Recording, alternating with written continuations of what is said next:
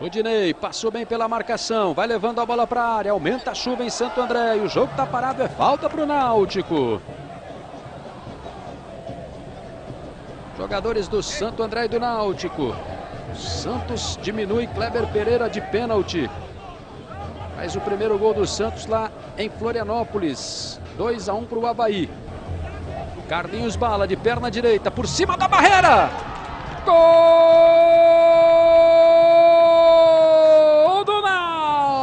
Náutico. Carlinhos Bala aos 30 minutos diminui. Um para o Náutico, dois para o Santo André. Ele vibra muito como torcedor do Náutico aqui no Bruno Daniel. Uma cobrança perfeita. No canto, passou pela barreira.